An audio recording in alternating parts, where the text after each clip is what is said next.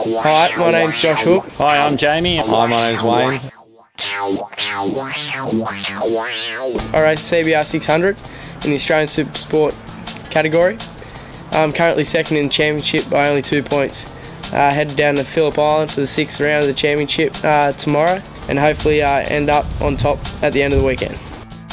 This weekend we are competing on CBR 1000 and uh, we're currently sitting third in the championship. So hopefully we can have a good weekend and uh, get a lot of points and, and move up the ladder a bit more.